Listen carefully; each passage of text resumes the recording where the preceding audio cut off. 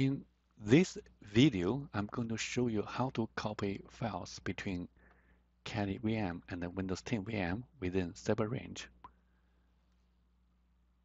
What we are going to do here is we'll first go to our Kali VM. Okay, I want to make this screen look better. And then, so I want to start the service so that we can actually do the file transfer. So what I'm going to do here is I'm going to actually use this command sudo service sh start.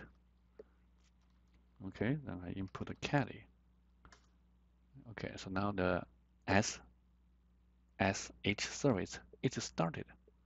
And uh, so I also want to look at the IP address of uh, this uh, Kali VM. So it is like this, 192.168.7.88. Great. And uh, so you can see here's my current folder. I also want to actually create a new file called tst.txt within the current folder. So I create this file. I'm going to actually copy this file from Kali VM to Windows 10 VM. And uh, so here is uh, what I'm going to do here. Again, I want to adjust the interface so it looks better. Okay, and uh, so here, what I'm going to do here is I'm going to start a terminal here, right? And uh, here is uh, the terminal. And I want to copy the file, right? So what I'm going to do here is I'm going to use uh, the scp command again within Windows. So we have the scp command or program installed on Windows 10 VM. So what, what I'm going to do is I'm going to copy the file at 168.7.88 called tst.txt and here the curly symbol here means the current folder. So what I want to do here is I'm going to copy the file at this IP address for this account. The file is located within the home folder of this account. The name is a tst.txt to the current folder with the same name. Okay, so I'm going to input the password. And now you can see the file actually is copied to here. So if uh, this is the first time you actually do the copy, and uh, then here you'll be prompted with uh,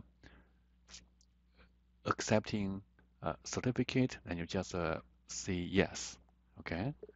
And uh, if I do dir, I can see the file. What I'm going to do now is I'm going to transfer this file to the Kali VM. So how do I do this? So I'm just doing this. Power exe to this account at this IP address. Okay, and so with the same name, right? And uh, so I'm do this, and uh, oh, I input the, the IP address wrong.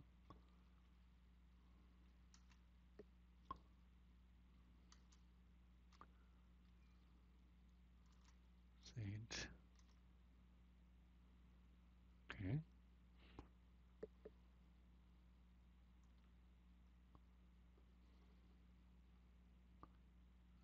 Anything wrong here?